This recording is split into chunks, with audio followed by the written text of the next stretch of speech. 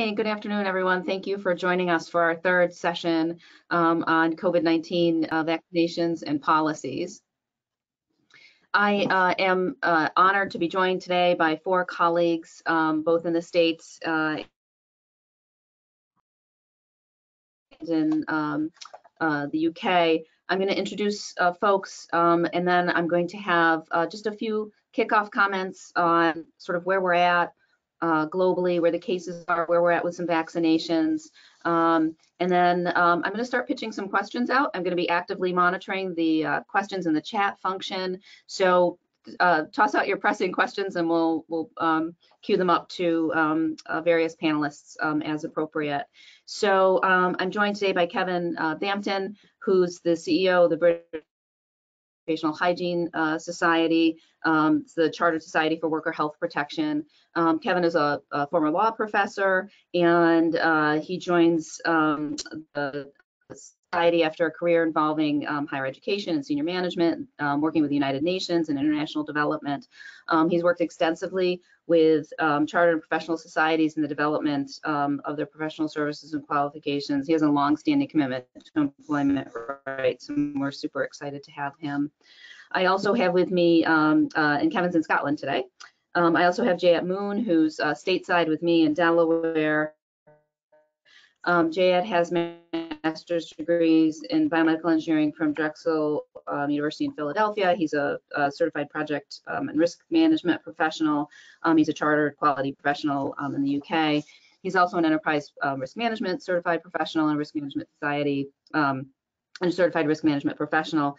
He's a fellow of um, ISM and the Royal Society of Arts, um, and um, he's excited about his new book, The Foundations of Quality Risk Management. Um, it was just recently uh, released by ASQ uh, Quality Press, so we'll be talking a lot about risk with. I'm excited to have him. Um, Michael um, Lavery is in uh, Newcastle today. Um, Michael's an expert in uh, stakeholder communications the founder and CEO of award-winning international marketing communications consultancy firm Brand and Reputation. Um, uh, Michael's a former executive director of communications um, uh, in the private and higher ed uh, sectors. Um, he's worked in crisis management, um, both internal and uh, worked on both internal external communications strategies um, in many different types of sectors. From working on major incidents at power stations um, to reputation issues at hospitals and universities. So we're looking forward to Michael's unique perspective there. And lastly, we have Scott uh, Moffat, who's up in Aberdeen. Um, Scott is an expert in human factors, um, in particular in the field of behavioral safety um, and the six NTS skills. So stress management, communication, situational awareness, decision-making, teamwork, and leadership.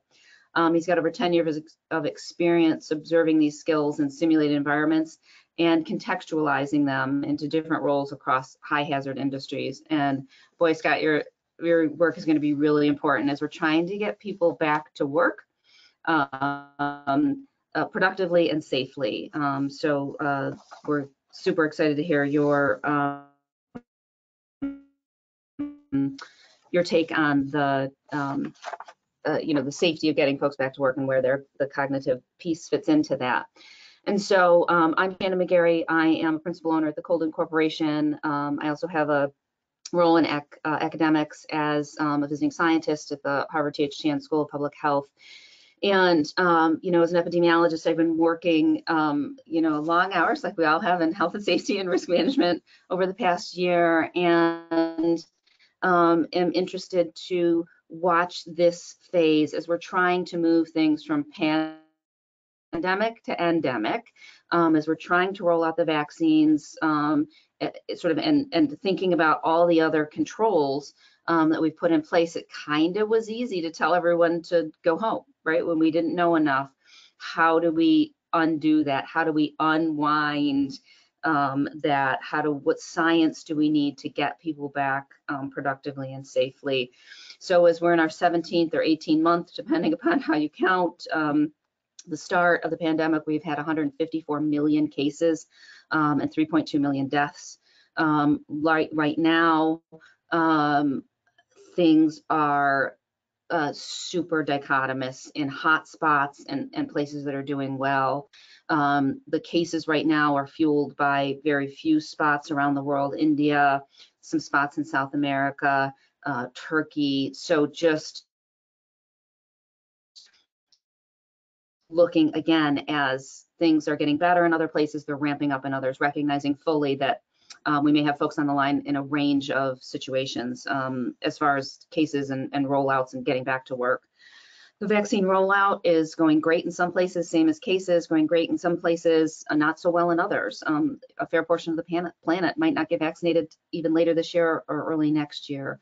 And again, recognizing there's going to be a range. Um, we've got about 1.2 million doses, uh, excuse me, billion B billion doses rolled out now. Um, we've got some places doing great. Um, Israel's got 56 percentage uh, points of its um, uh, population with uh, that are fully vaccinated. The U.S. is around 45 percent. In South America, even some bright spots. We've got 43 percent of folks vaccinated there, but then a fair portion of Africa uh, largely won't get vaccinations until later this year or early next year. So um, again, crazy range of where we're at. So this session, I, I want to, um, we're going to talk about vaccines. We're going to tee up some general concepts um, of getting back to work and what that means and how we're going to communicate with folks, what kind of policies we need. This session wasn't isn't meant to be a debate about the validity of vaccines or whether we believe they work or not work or what it's sort of or, or even largely any kind of governmental comments on how things have been rolling out and and what it what governments around the globe have been doing for policies and whether we like them or not. I think we want to take a, a more practical scientific approach. You know, the vaccines are out there um, how are people taking them up, what kinds of policies are working, um, again, to get people back safe. And so with that, I'm going to pitch out to Kevin first. Um, you know, Kevin, you're in a unique spot, you know, from the 20 or 30,000 foot view of policy um, for your members, getting folks back to work. I sort of have a double double-edged question. It's sort of have you seen things that have really worked that, that you want folks to replicate? And have you seen things that haven't gone so well? And I just sort of, I'll leave it a little open-ended for you. Okay, so sort of back to work, return to work has been sort of something that we're we're sort of returning to ourselves because after the first lockdown in the UK, I think BOHS was the first scientific society to sort of say this is going to be a really big issue. Um, having done the lockdown, having started lockdown, how do you get out of it? And it's like a lot of things you put in a set of controls. How do you take those controls out? Um, and I think think the things that we have observed as working well have been, you know, the application of, you know, really basic principles of risk management and, you know, occupational hygiene science. So using the hierarchy of controls. Um, so, you know, let's not sort of rush to the last line of defense loads of people running around with PPE and face coverings, not going to really deal with with the problems, and it's not going to enable you to be able to work effectively. So thinking well about the administrative, ergonomic approaches, etc. Not over, not over promising on the engineering side. There are lots of people who know that ventilation, for example, general ventilation, really important with all the work that we've done to reduce carbon emissions, lots and lots of buildings have really poor general ventilation, lots of recirculation. But then people go out and buy, you know, stuff that the snake oil salesmen come out with, you know, UV units that sort of pretend to be able to do everything for every, you know, like most things, sort of the basic principles of what, you know, what works, etc., what is proven um, help. So, so the, in answer to your question, the sort of the things that we're seeing work well is the application of common sense and control um, in a graduated hierarchy.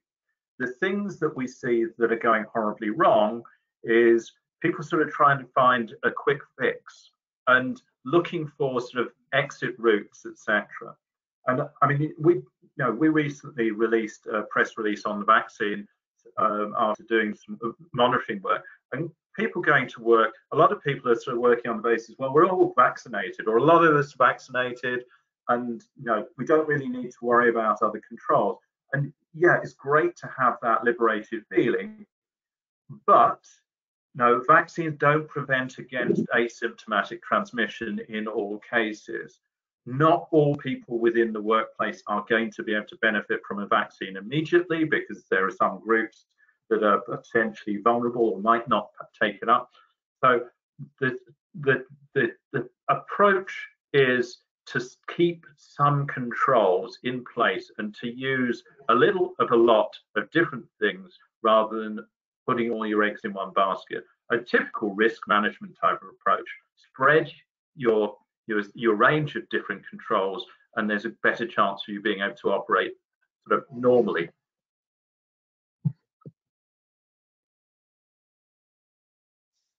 Excellent.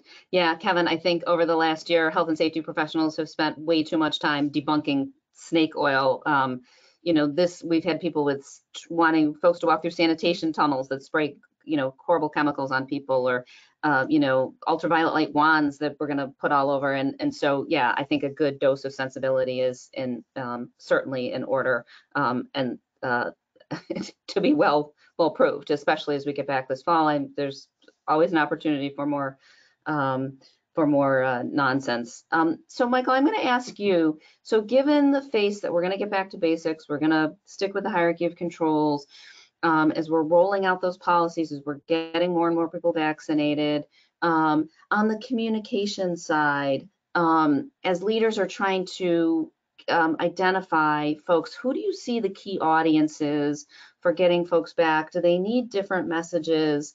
Um, what can leaders do to prepare themselves to to communicate policies? And and and if, and what what efficacy can can we expect?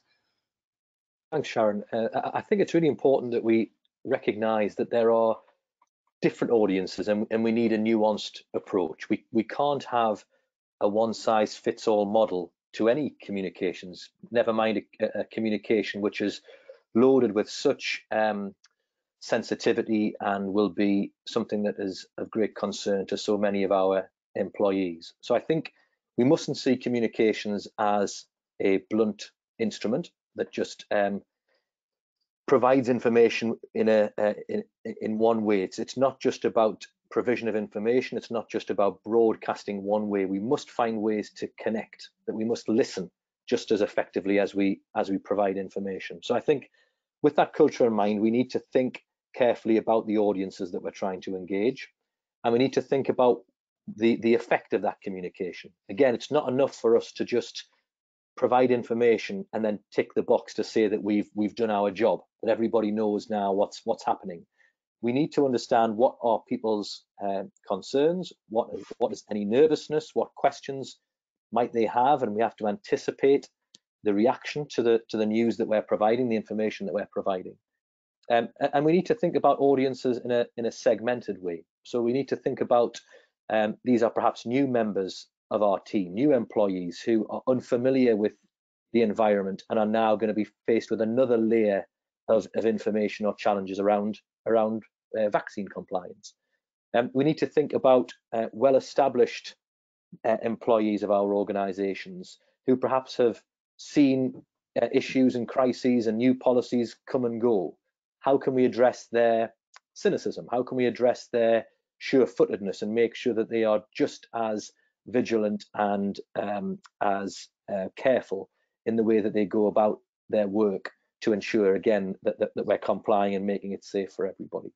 Um, I think we can use um, the network of champions, so that could be um, that could be team leaders or supervisors, it could be trade union representatives, it could just be the uh, very well respected, very positive, um, you know, the, the key social people in our different communities of, of employees that we think we can you can utilize to help cascade and amplify our messages more effectively. It's it's much better than just that top-down approach if we can um, interpret and translate communications that are relevant for each function of our of our organization. So that's certainly the, the approach we need to take, a segmented approach for audiences when we look at em employers. But then we also have to think about partners and suppliers and actors. We need to think about visitors to our sites. We need to think perhaps about the family of our employees, about the concerns they might have about their loved ones returning to the workplace uh, with with different restrictions and, um, and, and different requirements. So I think, as with anything, um, communications must must be strategic, um, we must carefully map our audience, identify their particular needs and requirements, set objectives for our communication with each of those audiences, and find ways that we're going to connect with them. We're going to get feedback.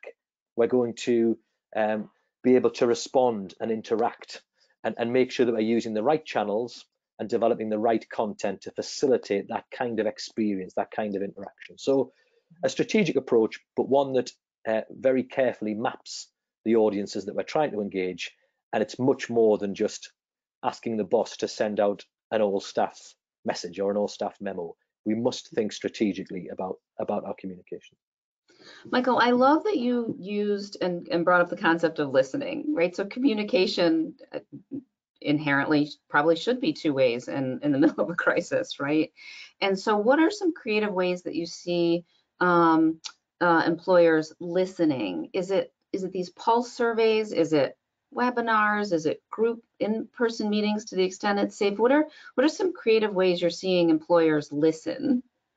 Yeah, absolutely. Yeah, I think the days have gone of a, a notice pinned on a, a poster pinned on a notice board, or a, a, memo from from management that's that's widely circulated, photocopied, faxed around an organisation.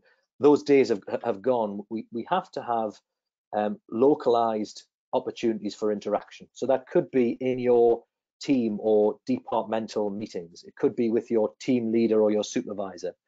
They can be your regular one-to-ones where you have a one-to-one meeting with a supervisor about your work, about your um, your project, your career development.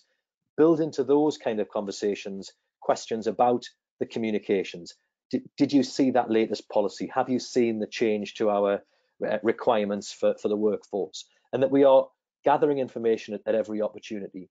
In terms of more creative ways, that then yes, utilizing technology. So whether it's webinars or um, you know video conference meetings like this, where we can open up the chat function, where we can field questions, that we perhaps have panel presentations rather than again a, a, a diktat, a one-way um, presentation from a, a, senior manager who then finishes their deck of slides and, and exits stage left, that we have more, more opportunities for interaction. I think you could also look at having, um, you know, a, a, questions, a suggestions box. You can have um, an open clinic or an open forum where people could come along, perhaps on a lunch break, um, and, and, ask questions. Um, you would identify the champions that help you to cascade the information out can also be the champions that collate and gather information and, and bring it back to you. So perhaps having a communications working group, which has representatives from across the workforce, that has a representative of us of, a, of your suppliers or subcontractors or your visitors um, or your various partners, and and you have a communications group that's reviewing how did that last message go out, how was it received, what are the reservations, the concerns that people are raising with you, what are you hearing? What, what, what, are the things that we should be thinking about for our next communication? What are the things we need to clarify that haven't landed very well with that last communications um, campaign that we that we rolled out? So I think there are lots of ways that we can do that. I think you want to avoid mm. doing it on on public platforms, Shannon, like like social media. You know, so posting a a, a new policy on mm. on Twitter or on a Facebook group and having everybody piling in sometimes under the cloak of anonymity and and you know trolling and trying to score points and making their grievances very public is is not the way to manage um, either your internal um, authority or to to manage your external reputation and brand. So I think it's about using the right secure platforms uh, in terms of technology, but not overlooking the opportunity of just listening um, face to face, one to one, small groups, and and finding ways to have eyes and ears on the on the shop floor, on the factory floor, in the office to to get that information and and feed it back up. There has to be a way to feed it back up to uh, to the to the powers that be. Excellent. Yeah, thank you, Michael. That's awesome. So we've got some policies that we know are going to work and not work. We're going to certainly listen and we're going to communicate. When I think about the nuts and bolts of getting folks back to work, it's it's been a very stressful year. It's been a very stressful year for uh, different people in different ways. Um, and as a health and safety professional, we want to make sure people are safe. And people that are stressed um, tend to have more accidents. People that are tired um, uh, and so um, to that extent, Scott, I'm going to toss out to you. Um, how do you think the pandemic has affected our ability to work safely and our cognitive abilities um, and our decision making? Um, what's what is what's the road look like of getting back and, and where are the bumps going to be and, and how long are they going to last for folks, do you think? Well, thanks, John. That's a great question. So, in short, uh, during the whole pandemic, and like you say, all the stress, the more stress we're under, the harder it is for our brain to take in and process information. And I think the one thing, regardless if we've been put on furlough or whether you're continuing through, is the one thing that we can definitely, well, we definitely know is that people are under more stress. So if you're under more stress and pressure, the brain can't take in and process information. So it's kind of you've got half the workforce, not half the workforce, but some people might have been working right the way through so if you're under that amount of stress and pressure, basically the two main parts to your memory, your working memory, your long-term memory, these two need to speak to each other. So how you take in information from the environment goes through into the long-term memory, these two speak to each other and everything's okay. You add stress in there and what stress does is it puts up a barrier so the working memory and the long-term memory can't speak to each other, which means if you're then not got the ability to take in and process information, your long-term memory will just go back to what it knows. So instead of looking at a situation and your brain taking the information in, your long-term memory is just going to be like, oh, I've done this before, I know what it is. So instead of processing the information, although your brain's incredibly powerful, it's incredibly lazy. And before you know it, your brain can take you down that garden path without us even knowing, unfortunately. And it's like that for those that have been furloughed. So if you've, one of the things that we do at BFC is we do a lot of simulation exercises, we do uh, training courses, we also do competency assessments. And I was assessing, I think it was last October, last November, and the person, we just make sure that their their technical skills and their non-technical skills uh, go hand in hand and they're safe to go back offshore. And before the assessment even started, the person said, I can barely process information when I'm at home at the moment. I haven't been offshore in six months. How on earth am I supposed to go offshore and work in a high hazard industry? And I was like, ah, yeah. So what we were trying to teach and what we teach and is if you have been say on furlough and you're working right the way through, your brain's not going to be doing what it's programmed to do. So the, the confirmation bias, for, especially for those that have been on furlough, if you've done a task a hundred times, you come to do the task the hundred and first time, your brain's got that preconceived idea of what it's expecting to see. So if they haven't been off, say offshore, working in a bank, working whatever, it's their brain's going to go back to what it's used to seeing. So again, they turn up to work after say six, seven months. Their brain's like, I've been here before, no problem at all. It forgets the last six, seven months. And unfortunately, uh, errors can go wrong because the brain, like we were saying, it will create the picture that we're wanting to see and not the evidence and the information that's in front of us. And simple things, it's just going back to basics. I think Michael mentioned it there earlier. One of the things, it doesn't matter what industry we're in, high hazard or any industry, it's just thinking about what to do if something goes wrong because we need to realize now that we're human beings and this pandemic, if ever things were going to go wrong, unfortunately, it's when we come out of this at the other end. So it's just taking the time, if even when you're starting routine tasks, just to think, what am I going to do if something goes wrong? It just then prepares the brain. So if it does go wrong, it's sitting there, you've thought about it, the chances of you freezing are dramatically reduced. And even the likes of distractions, trying to eliminate as many distractions as possible. You can say you're distracted for even five seconds. It can take your brain between four and six times the initial distraction to go back to where you were before you were distracted. So that's your normal day. You get distracted five seconds, you're looking at 15, 20 seconds. That's normal sort of working. That's not without taking in all the stress and pressures of everyday life at the moment. 15 to 20 seconds is a long time for your brain to come back round. So a nice simple thing if you get distracted, regardless of your work, regardless of what the task is, always, always go back to where you were before you were distracted. It will just allow your brain to start taking in and processing the information. But going back to the question, unfortunately, our cognitive capabilities aren't going to be anywhere near where they were before the pandemic started, unfortunately. hmm And so on the communication, on the training side, is there a, um, do leadership and managers need, um, need a different approach to sort of the reentry and the retraining? Maybe the regular training that we're used to doing isn't appropriate right now, or is it a, a an altered form? And is there a, we necessarily, so as Michael was saying, listening is just as important as communicating out. Is it sort of, is there a, a do loop to hear back from folks as they're getting back? Like, oh, I don't remember how to do this, or this isn't going well. Um, have you had any of that kind of um, interaction, Scott?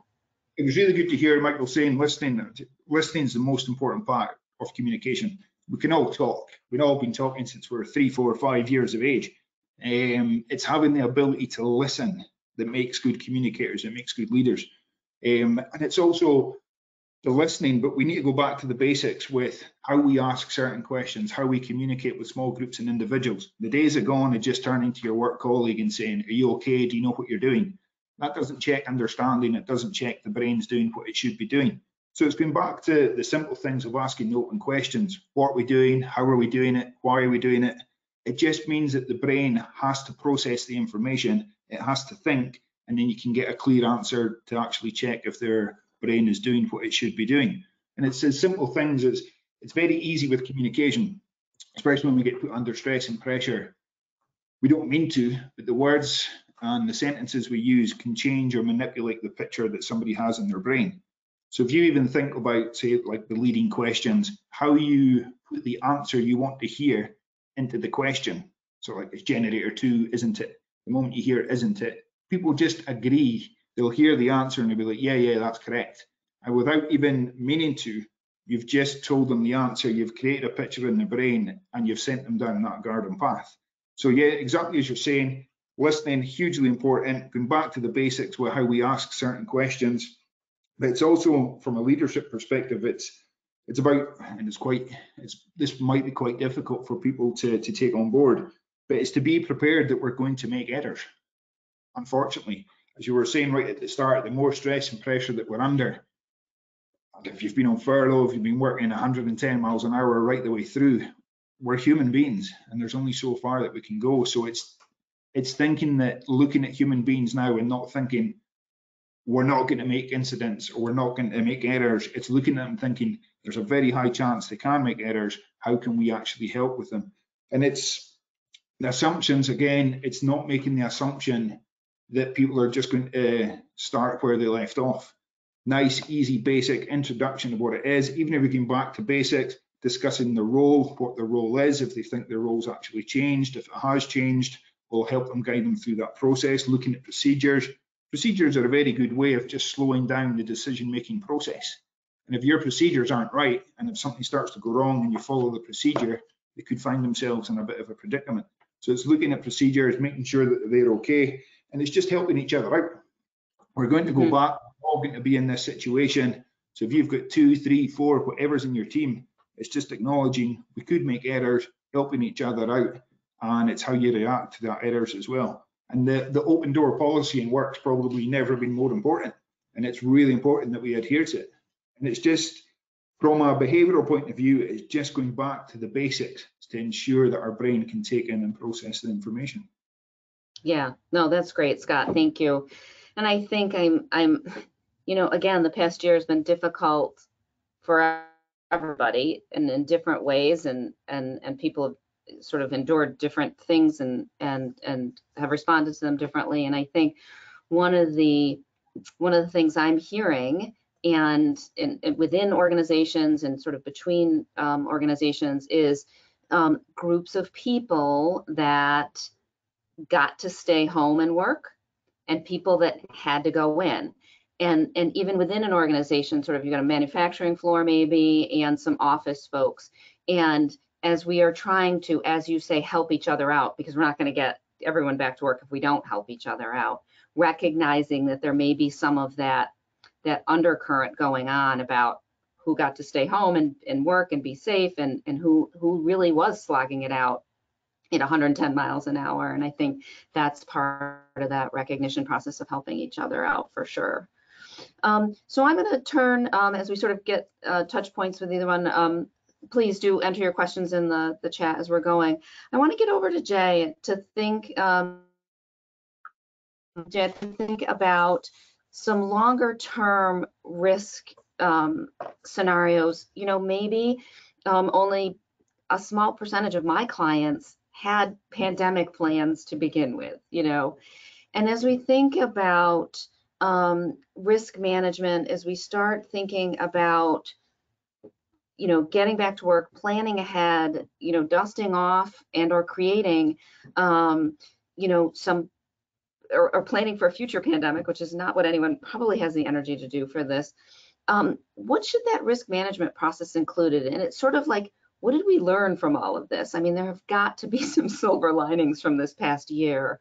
What what should you know we think about as risk management and and pulling together um, pandemic plans or infectious disease plans? Um, what what goes into that that risk rubric for you, Jat? Mm -hmm. Yeah, so usually sort of uh, this sort of planning has been part of business continuity planning uh, and uh, those uh, sort of uh, processes and procedures and not overtly focused on risk management. But for businesses, from an operational standpoint, uh, risk management planning process should include a few things. I think one of them is identification of core essential production and service workflows. Then you have strategic risk management that includes identification, assessment, and mitigation measures in terms of uh, your business and financial impact. Um, then you have to identify supply chain for core operations, identify human resources and organizational hierarchies and workplace resources, identify um, essential worker safety and stockpiling safety equipment, um, identify financial cash flows in in uh, you know financial cash flow analysis in emergency situations, and uh, basically you know create worst case and best case risk scenarios and planning for both by having recovery plans, and uh, uh you know a plan for recovery and reopening is just as important as a plan for shutdown. So reopening planning must detail efforts to start up from zero activity and scaling to full operations. Um, and you know maintaining sustaining at a set level of operation which might not be the full operation so and then you know we have to plan for monitoring risk plan for communication and finally uh, you know uh, a plan for like public and private partnerships for not just benefit of the organization but for the society as a whole because covid is a human risk it's a societal risk so has to be approached that way because everybody has to uh, work together that's great. And so, Jed, as we're sort of some parts of the world are are definitely in the the, the thick of things. Um, for India, for instance, right now, in the middle of um, the crisis, what um, you know, or the middle of a surge. Um, uh, what do you what do you suggest for those folks in the middle or in the thick of it? Yeah, um, we have a sort of a grim situation in India, and um, I think a lot of it. Before I answer your question, I think a lot of it is um, it's risk perception and what informs our risk perception. And uh, I, I, I was hearing stories recently where um, I mean, in, in February March, I have family in India. My dad lives there, and in February March, there was a lot of resistance to taking the vaccine. Um, you know there were vaccines in the uh, in the hospitals and stuff but the the lines were not the queues were not full and uh, you know it wasn't that popular uh, but now when they're in the middle of a surge um, i've been hearing that people are willing to pay some really good amount and they are paying just to get that vaccine because now everybody wants one so uh, it's it's interesting to study how risk perception changes when when risks materialize. Uh, but that said, I think when you're in the middle of a surge or when the situation suddenly changes, uh, it's always good to go back to the basics. So you know there is a risk, you evaluate that risk, and uh, you have mitigation measures. And I think um, as as Kevin mentioned, I love the hierarchy of controls and you can ramp that up and ramp that down depending on the situation and the context. The thing is, you have to continually reassess risk and continuously reassess mitigation measures and keep that loop up to date and keep your data and information flowing and communication flowing so everybody has the most up to date information. And finally, you, you must monitor and review effectiveness of your hierarchy of controls and then you know keep on keep on uh, you know updating mitigation measures as needed. So it's uh, it's going back to the basics really and not not giving into perceptions of low or high risk as uh, you know i think as scott called out biases and heuristics which cause us to take shortcuts sometimes and not assess data objectively as we would like as we would think we would do but but we don't so that that is also very important in a crisis situation yeah, that reiteration process, that reevaluation of the hierarchy of controls has been so important. I mean, we are drinking from a scientific fire hose,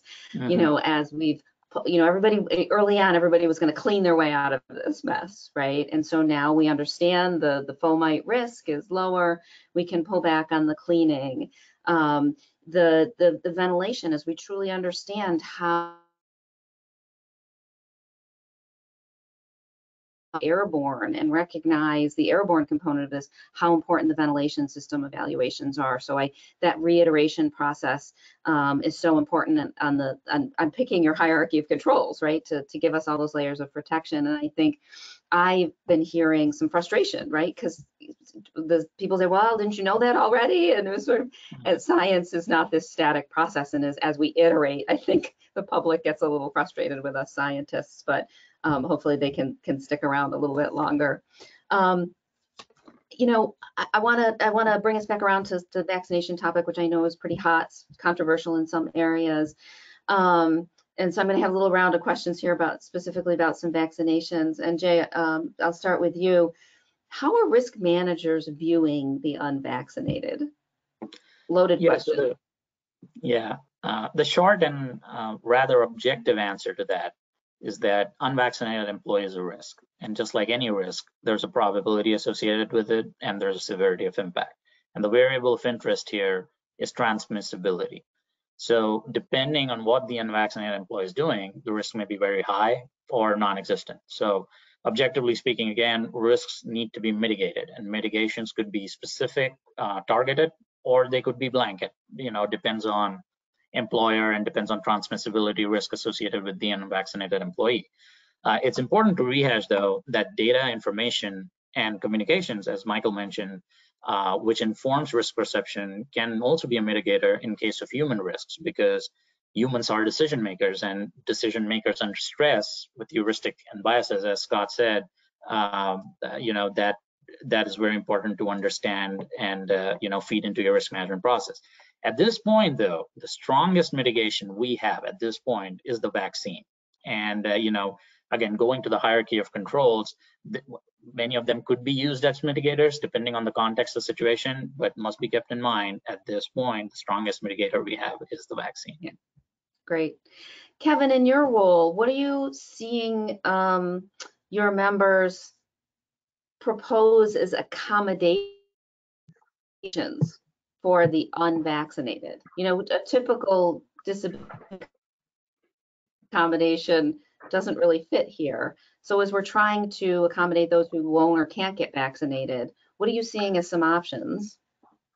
I mean, it's it it it's a really really interesting picture at the moment. Uh, I know that there's some uh, there's still so much that not understood about how even the the current sort of strains are being spread and while you've still got sort of vulnerable people within the workplace, and some of those vulnerable people are people who can't or won't take vaccines, then no, this we're still in this situation. No, in one way, Jayet, I agree with you that the, the vaccine is the strongest mitigator, but it's only it's it's a sort of a discriminatory one. It's a sort of a self-selecting one.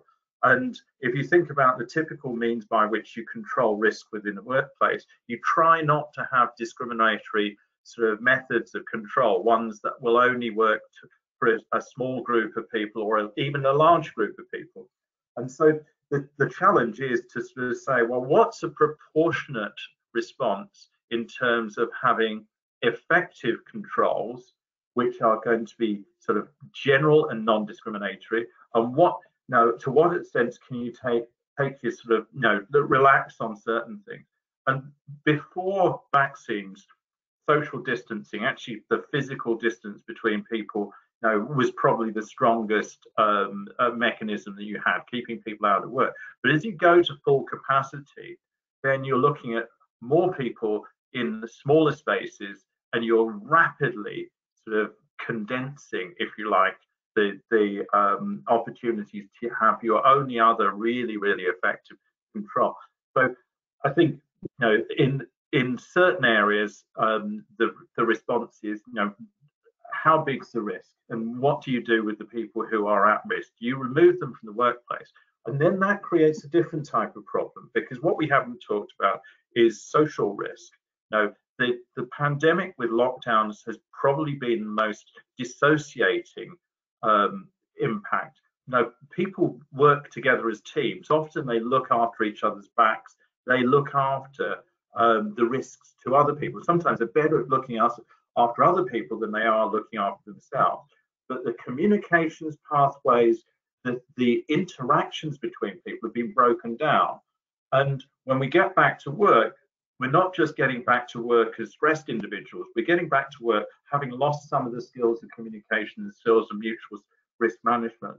And so reinforcing some of the things that Michael and Scott have, have said, you know, there's a degree of relearning.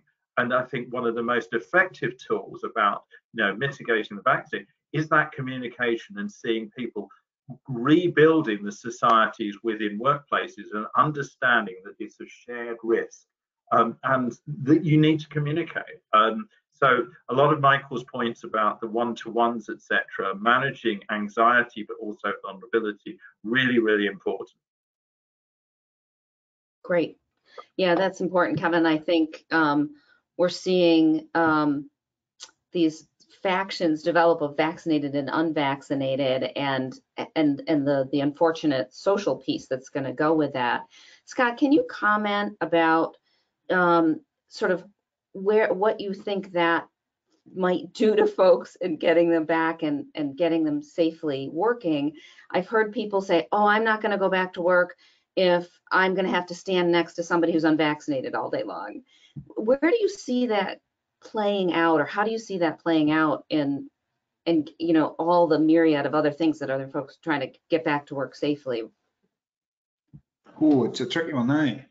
It's it's it's weird because what we were saying earlier about the, the normal and the new normal, it's even things with beginning to open back up and things. So one of my friends was talking the other day, said he can't wait to get back to the pub. And I was like, well, I'm a bit, a bit uh, like, it's putting the fear of God into me because being around that amount of people again is just not something that I'm used to. And I think we have to take that again into the work setting, whether it's it's vaccinated or not, is people are going to find it difficult working in groups again. And as exactly as Kevin was saying there, everything we need to place emphasis on the teamwork, the communication, and everything that we thought that we once had. And we uh, basically, as we're all saying, is it's going back to the basics. Mm-hmm. Yeah. And all those priors of, well, I got vaccinated. How come you didn't? Just the the the context of, yeah, I love that concept of rebuilding the the societies in the workplace with this new thing in there. I mean, I never before people sort of said, hey, geez, have you gotten your measles vaccine? Or I don't even really think there was a conscious conversation about, hey, did you get your flu vaccine? Like it's just, it's going to be, it's going to be interesting and new to navigate. And I think, Michael, I'm going to pitch one out to you, which is something that's super concerning for me as a public health practitioner and epidemiologist, um, the younger folks. So we're seeing in a lot of our pulse surveys, and it's not just in the US, um, it's in um, uh, prevalent in, in, Europe and Asia as well. Um, not so much in South America, which I don't understand, which is the younger folks, these 18 to 29 year olds who um, aren't necessarily saying they're hesitant to get the vaccine. They don't have a, a safety mm, question or an efficacy concern or whatnot.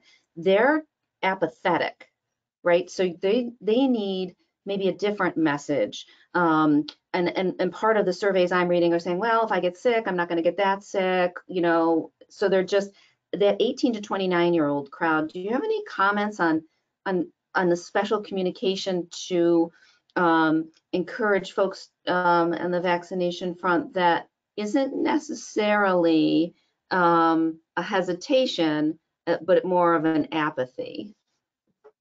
Sure. Um, actually, a lot of my work is still in the higher education sector. So I do a lot of work around student communication, student engagement. And I think um, one thing that we need to avoid as employers um, and in our industries is talking down to, to younger people. I think a lot of our government rhetoric, um, a lot of the language and the tone of employer communications can be very parental in style and it can be um, it, it, can feel quite patronizing quite quite condescending for any any demographic i think. But but for our young people who are particularly savvy um, they uh, are very discursive in, in, in exploring concepts and ideas. They discuss things in their own spaces their own social media spaces and they develop um, real confidence in their own thinking their own positioning. It's important that we communicate with authenticity so what, what I would be advocating there is that we, again, I, have already mentioned the concept, but we identify champions. Um, perhaps these are young people, young employees, for example, within that age band of 18 to 29 who can distill and translate and communicate some of those messages for us. They can act as ambassadors and advocates for uh, the, the need for vaccination. They can roll out some of this information. And again, it's not feeling top down. It's not feeling like it's parent to children. and it's not feeling as though it's too instructive or too prescriptive, but that we're providing a, a transparency of information, we're um, providing facts. So we're saying, look, yes, young people um, won't be as badly affected by by the pandemic. You are more resilient. You're not one of the at-risk groups. But as an organization, as an employer, it's important that we get back to capacity and that means making sure that all of our workforce is safe, including those who are who are older than you. To help us to do that, we know that vaccinating the whole of our community can be effective. And um, these are the statistics, this is the data, this is why it's important.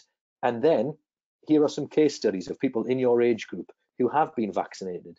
They'll tell you, you know, that, that, that they did it, that they were perhaps skeptical or apathetic about it, but they've done it. It was, you know, pain free it's help and they did it because they're wanting to help the broader workforce. They're wanting to help their organization their business their company get back up to full capacity get back up to full speed to fulfill orders to to meet requirements to meet deadlines whatever it might be. So i think speaking to young people um, with authenticity with uh, clarity with transparency and using advocates and ambassadors within their community to help deliver that message i think is a way of breaking through some of that um, yeah some of the, the the apathy that's there perhaps from from young people. Yeah. No that's great michael and i think it's it's really important. I think the younger crowd might need a more community minded message. Um, it seems to be resonating with some of my groups in, in higher ed. It's sort of you know the power of the vaccine is me right? I got vaccinated i'm protected. But the the real power is the we, right? So each of our own individual vaccinations is so much more impactful and meaningful when everyone around us is vaccinated as well. Um, yeah, you know, and, Shannon, in terms of channels as well, you know, we know that young people are consuming huge amounts of video content. For example, uh, we know that they're engaging very fully in social media discussions. So again, older generations also use social media, but tend the data shows they tend to dip in and out. They, they, they read it, they absorb information, but they're not engaging quite as much as young people do. Uh, this is very much their social space. It's where they build relationships, where they form opinions. So again, using the power of social media for good and using um, rich media like video um, could be again very effective at engaging young people. So it, it's not a, a, memo from the managers that says you must, must get vaccinated, but it's a video about the power of vaccinations to uh, protect communities and to restart economies and to revitalize or re-energize business. I think it's you have an opportunity with with more emotive content, more storytelling, I think, to engage young people uh, in, in the Mhm. platforms, in the spaces where they're really active. Mhm. Excellent. Yeah, thank you. Um, so Kevin, I'm going to toss one out to you a little bit, again, another 30,000 foot view policy question. Um, in the States, um, again, we've got about um, 100 um, colleges and universities that are going to mandate the vaccine. I have some healthcare settings that are mandate, mandate vaccines, but in stateside, I don't have any other clients that are mandating. Um, how do you see that rolling out for your members? Um, um, I think some of it's hinging on um, getting full approval for the vaccines right now um, in the states. Most of them have emergency use authorizations. But do you? Where's the conversation going around mandates? Yay or nay? Was that coming to me? Sorry, I missed it. Yeah, yeah, seven. Sorry, Kevin. I just yeah, it's it's, it's it's it's a fascinating one because no, especially in Europe, um, you've got a very strong sort of um, uh, human rights culture with a particular model about therapy and therapeutic engagement being something that is consensual.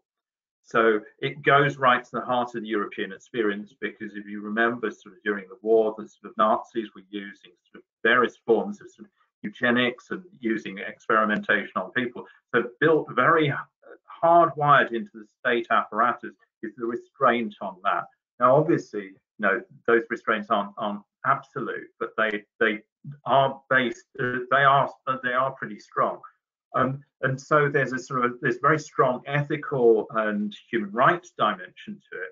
And then there's the pragmatism, isn't there? And the pragmatism is about sort of the the, the relationship between the employee and the employer. Um, and in in terms of the employment context, you know, clearly a person who decides not to be vaccinated is is you know presenting a risk to themselves, but potentially risk to others. And it's this interim period where vaccination is important as a public health exclusionary power um, that's really important. But the reality, I think, is the debate will keep moving towards Michael's area, which is that it's about communicating because vaccination is really a public health protection as opposed to an abs absolute workplace protection. It's never going to be able to affect 100% of people because there's always going to be a tiny minority who can't avail themselves of.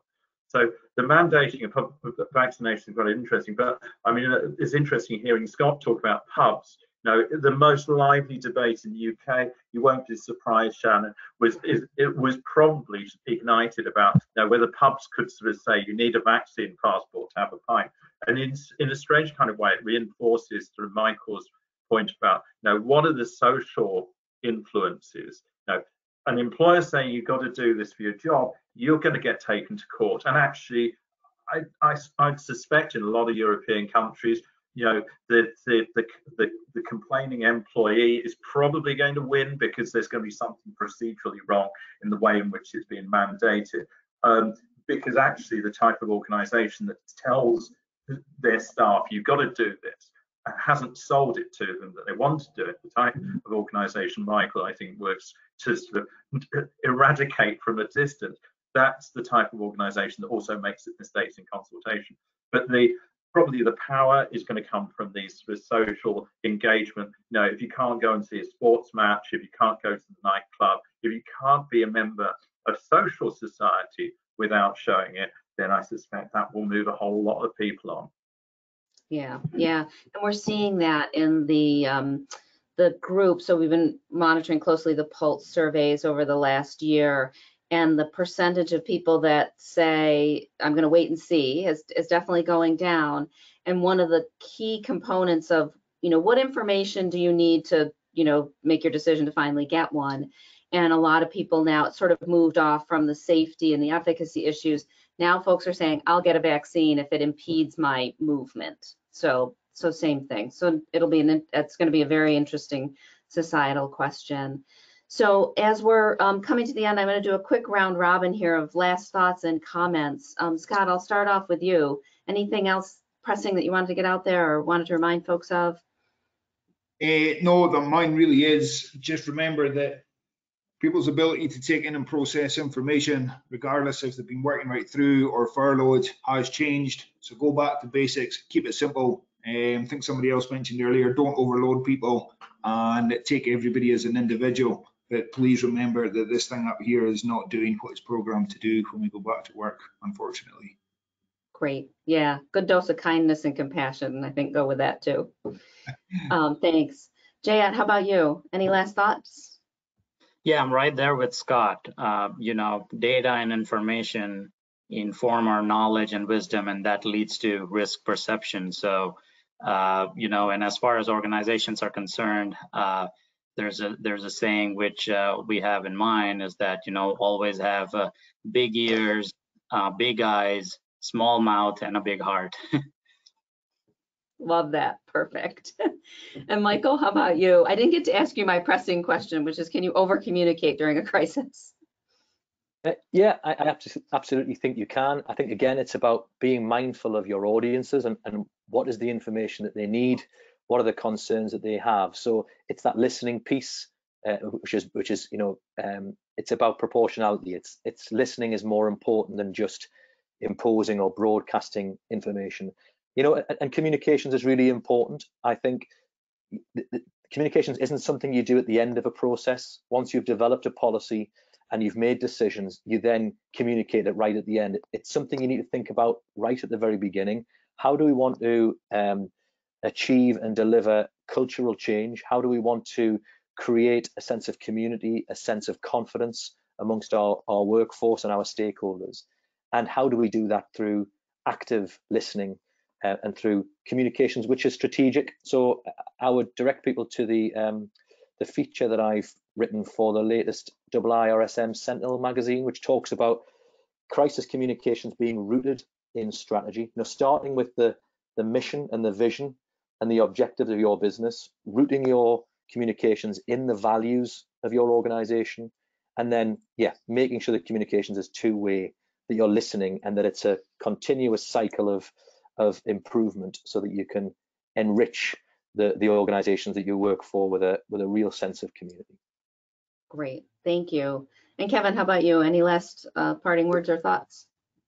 Yeah, I, uh, strategy and communications and all of these things are means to one particular end, which is collective responsibility, collective action. And if we've seen one amazing thing out of COVID, is where before in history have you seen people willing to put the economy on hold, their social lives on hold, everything on hold to protect the vulnerable? And if there is ever a really sort of progress focused positive statement that collective action is worth it to show save risk to people you don't know and possibly are already vulnerable, then this is it. So there's a tremendous hope story out of this. And hope, I think, has a vital place to play in any form of risk management. Excellent. Yeah, totally. Couldn't agree more, Kevin. Thank you so much. So I think we got to um, some of the questions that showed up ahead of time, some questions that came in. Um, I know the session is being recorded, um, so thank you everybody for participating. Um, super interesting.